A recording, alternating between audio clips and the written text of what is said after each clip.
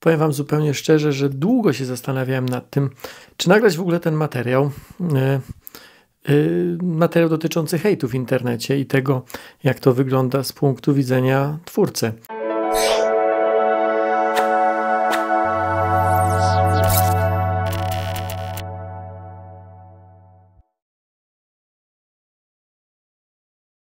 Sporo, sporo rozmów i z mm, osobami, który, które ten hejt dotyka, jak i z tymi, dla których to jest trochę abstrakcja, które mówią, no przecież po co ty te komentarze czytasz? Y, przede wszystkim chcę podziękować Dawidowi, myśliwcowi z naukowego bełkotu, że w ogóle temat zaczął. To nie jest temat, który oczywiście mm, nie pojawiał się wcześniej nigdy. Natomiast on to zebrał i powiedział: y, Nie czuję się bezpiecznie w polskim internecie. No, może nie w polskim internecie, tylko on mówił o YouTubie. Ja bym to rozszerzył. Ja się nie czuję bezpiecznie w wielu innych różnych miejscach. I e, pozwólcie, że w pięciu słowach powiem, jak to wygląda z mojego punktu widzenia. Wyobraźcie sobie sytuację, w której idziecie z rodziną na spacer, z najbliższymi. Piękna pogoda, gdzieś tam szumi strumyk, park śpiewają ptaki, pachnie bez i w pewnym momencie ktoś do was podchodzi i na was po prostu żyga. Albo obrzuca was gównem, albo po prostu na was harka. Patrzą na to wasi najbliżsi. Może wasza żona, mąż, dzieci i wy nic z tym nie możecie zrobić. To nie działa w ten sposób, że nie czytaj komentarzy. To jest moje miejsce pracy. YouTube to jest moje miejsce pracy. Twitter to jest moje miejsce pracy. Ja nie mogę nie funkcjonować w tych miejscach. Co radzicie osobie, która w miejscu pracy jest szykanowana, która w miejscu pracy jest nękana, której w miejscu pracy dzieją się rzeczy, które się dziać nie powinny? Czy mówicie, ej, wyluzuj? Co prawda, ta jedna, ten jeden jest dla ciebie nie chodzi nawet o to, że złośliwy, ale łamie wszelkie standardy, ale za to zobacz, w twoim biurze jest 50 innych, którzy są dla ciebie mili. Serio tak mówicie? Albo mówicie, nie podoba ci się, to zmień pracę. Serio tak mówicie? Nie, staracie się zidentyfikować problem, staracie się zidentyfikować e, sprawcę i wytoczyć sprawcy na przykład pozew albo cywilny, albo inny. Albo sprawcą zajmuje się y, pracodawca. Ale ja nie mam takiej szansy. W mojej pracy nie mam takiej szansy. W mojej pracy rano wstaję, zaczynam każdy dzień z wyjątkiem weekendu od prowadzenia mojej audycji w Radiu 357. Potem robię kawę, potem daję psu jedzenie, włączam na przykład Twittera i widzę kilkadziesiąt informacji, czy kilkadziesiąt linków do mojego nazwiska, do moich postów. I wiecie, co się dzieje? I mam sucho w gardle. Bo ja wiem, że wśród tych kilkudziesięciu, czasami powyżej stu, w ciągu nocy, przynajmniej kilka to będą anonimowe konta, które wyleją na mnie kubeł gówna. I tak się zaczyna mój dzień. I to, że tam jest dużo więcej informacji neutralnych albo dobrych, no to jest tak jak w czasie tej wycieczki do parku. Są i ptaki, jest i bezpachnący, jest i, i, i szumiący strumyk, ale tego się nie zapamiętuje. To, co w głowie zostaje, nie tylko mnie, to jest to gówno, które jest rzucone we mnie.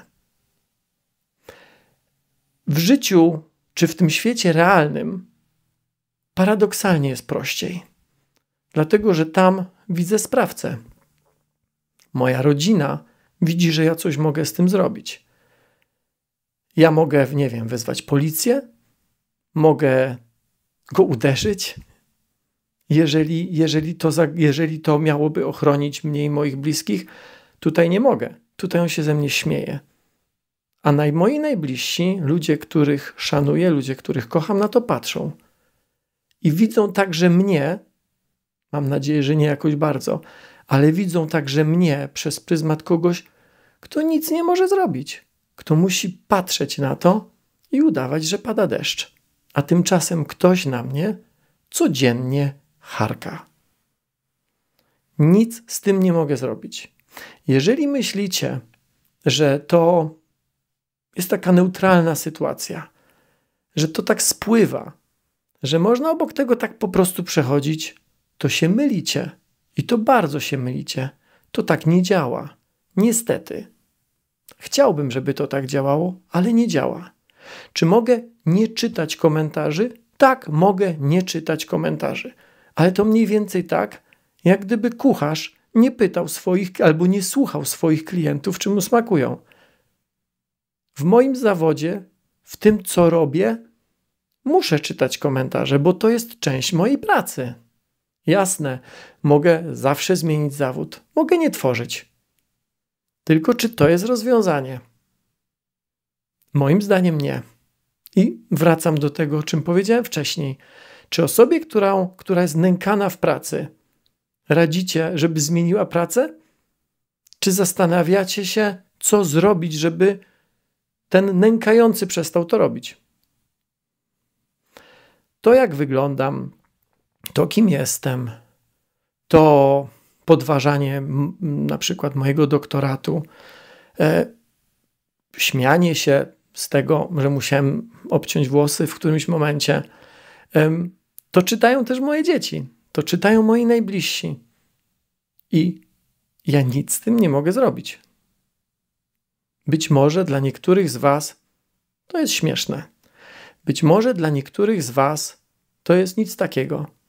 Ale jak byście się czuli, gdybyście któregoś ranka zobaczyli przerobione zdjęcie, w którym ktoś sika na portret twórcy? Po prostu. Po prostu sika na portret na twarz. To nie jest wymyślona sytuacja. Jak byście zareagowali na sytuację? Co byście pomyśleli? Jaki byście mieli dzień, gdybyście któregoś dnia rano odkryli taką, e, taką, nie wiem, sondę, chociażby na Twitterze, e, czy pan Rożek jest e, niemytym chujem, czy tylko sprzedajną kurwą? Myślicie, że działa zgłaszanie takich rzeczy do platform? No można zgłosić. Tyle tylko, że automat odpisuje, nie został złamany regulamin, yy, regulamin platformy. Jakiś czas temu, ja chyba nawet o tym mówiłem gdzieś publicznie, jakiś czas temu yy, miałem taką sytuację, w której ktoś napisał do mnie maila z informacją, przepraszam, to chyba też był Twitter, z informacją, yy, że będzie czekał przy mojej furtce, przy moich przy, przy, przy mojej bramie, zna mój adres i będzie czekał z sekatorem, żeby mi ujebać język. Co byście zrobili z, taką, z, z, z czymś takim? Pierwsze co, pomyślałem, czy to czyta moja córka. Drugie co, to pomyślałem, ok, pojadę na policję. Wydrukowałem tą informację, pojechałem na policję. Przez dość długi czas policjant przekonywał mnie, żebym w ogóle tego nie zgłaszał. E, gdy się uparłem, żeby to zgłosić, powiedział: No dobrze, no to w takim razie zgłoszenie przyjąłem. Dziękuję panu bardzo. A wtedy zapytałem: A pan w ogóle nie chce wydruku tej wiadomości? On nawet na tym etapie nie miał zamiaru palcem kiwnąć, żeby znaleźć sprawcę. Być może ktoś padł na genialny pomysł zrobienia żartu albo wtedy, kiedy podawał adres prywatny, albo wtedy, kiedy pisał imiona dzieci z informacją, do której szkoły chodzą. Z punktu widzenia twórcy, pracujemy w warunkach, w których codziennie coś takiego zdarza się czasami raz, czasami dwa, czasami kilka razy. I ja nie mam nadziei, że to, co ja teraz mówię, jakoś, nie wiem, otrzeźwi te osoby. Ja tylko mam za złe platformom, że mając narzędzia do filtrowania takich rzeczy, tego nie robią, bo z tego żyją. Bo żyją z kontrowersji, bo żyją z emocji, bo taki wpis generuje kolejne wpisy, być może czasami botów, ale myślę, że bardzo często nie. Od lat istnieją narzędzia, żeby takie rzeczy filtrować, ale ani Facebook, ani YouTube, ani Twitter specjalnie, to jest moja teza, z tego nie korzysta. Nie dlatego, że się nie da, tylko dlatego, że nie chce, bo z tego żyje, bo z tego są kliki. I gdy Dawid Myśliwiec mówi, nie czuję się bezpiecznie na YouTubie, choć jest to moje miejsce pracy, to ja go rozumiem. Bo ja też nie czuję się bezpiecznie w tych miejscach. I nie uważam, że alternatywą jest przestanie tworzyć. No nie uważam tak. Uważam, że jest ogromna wartość w tym, że jest grupa ludzi, nie aż tak duża, która tworzy treści jakościowe, która tworzy treści rozwojowe, która tworzy treści inspirujące także dla młodych ludzi, która wspiera system edukacji. Tak po prostu uważam. I myślę sobie, że jeżeli jedynym, jedyną radą na tą sytuację jest to, żeby poradzić takiej osobie nękanej, zmień pracę, to myślę sobie, że tak naprawdę to jest akceptacja patologii. No tak uważam. Mogę oczywiście w niektórych miejscach wyłączyć komentarze. Dawid też o tym mówił. Tyle tylko, że YouTube tak bardzo z tych komentarzy żyje, że jak się wyłączy y, komentarze, to spadają zasięgi. A zasięgi są dość istotne i tu nie chodzi o to, żeby wykręcać jak najwyższe numery. E, w nauka to lubi, nigdy nam na tym nie zależało.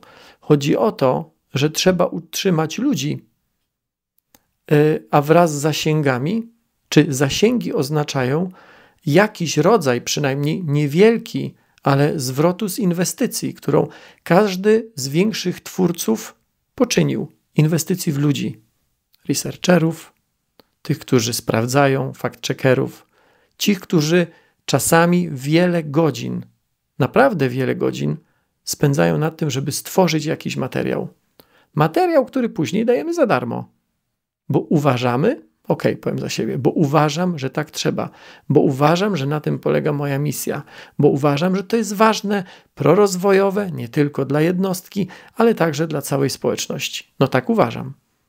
Jeżeli ktoś mi radzi, ej, weź odpuść, to chyba nie rozumie tego, z czym zderza się bardzo często twórca i jak bardzo tego typu wpisy, ale także wiadomości prywatne wpływają na to, jak siebie postrzega, jak być może postrzegają go jego najbliżsi. Nie mam specjalnie nadziei, że to, co teraz mówię, cokolwiek zmieni, ale czasami tak bywa, że mówi się coś raczej dla wsparcia, mówi się coś czasami dla po to, żeby też samemu się poczuć choć trochę lżej. No i w zasadzie po to to nagrywam. Chcę, żebyście wiedzieli, że to nie działa w ten sposób. Że jak nie przeczytam komentarza, to go nie będzie, że jak wyłączę komentarze, to ich nie będzie, tak, tego poczucia, bo jak wyłączę komentarze, to za chwilę nie będę miał Mm, za co utrzymać ludzi, którzy w nauka to lubię, wspierają tworzenie jakościowych treści. No i w zasadzie tyle. Dzięki za uwagę.